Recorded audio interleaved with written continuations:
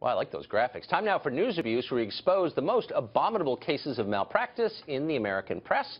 We're joined by our old friend and an expert on this subject, Howard Kurtz. He's, of course, the host of Sunday morning's Media Buzz program, which we never miss. Howie, great to see you. Great to be here. So you've got, I mean, there's so many I had possible to narrow topics. it down for you, Tucker. What'd you get? Okay, Kellyanne Conway, Donald Trump's White House counselor, probably his chief defender on TV, drawing a lot of very personal flack for her role. New York Times columnist Frank Bruni writes of the dark magic of this right-wing operative. And Carl Bernstein, the former Watergate sleuth, had this to say on CNN.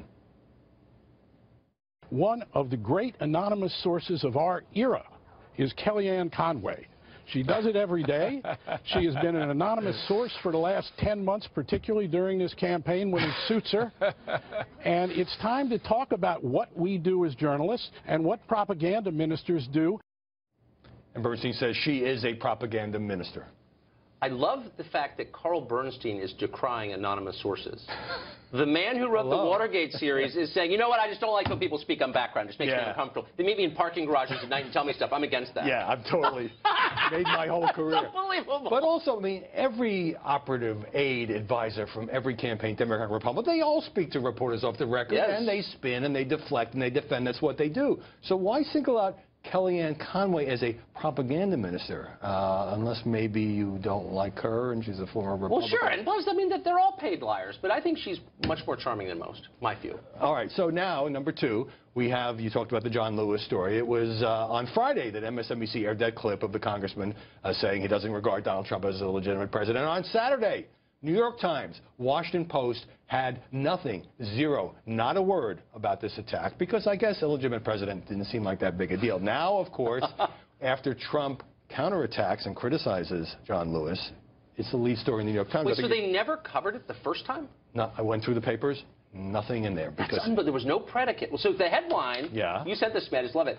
Trump sets off a backlash with attack on civil rights icon. Not on elected official or congressman or politician, but civil rights icon. He's the, the one, and he is a civil rights icon, Mm-hmm. but he was acting not in his capacity as such, but as a member of Congress. The so can't you call him that? The print edition says blacks perceive a callous rival in Trump. So, you know, look, we can certainly debate whether Donald Trump goes too far, when Yeah. he goes after whether it's John Lewis or Alec Baldwin or Meryl Streep, right?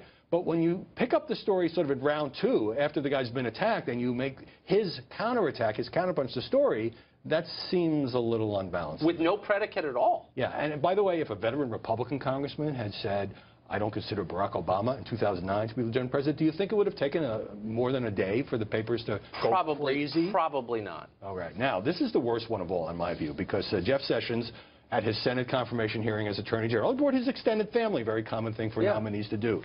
Ira Madison III, he's an MTV writer, tweeted the following, and put it up on the screen. Sessions, sir, kindly return this Asian baby to the Toys R Us store you stole her from. Another tweet, he said, why is she a prop? This is the senator's young granddaughter. Yeah.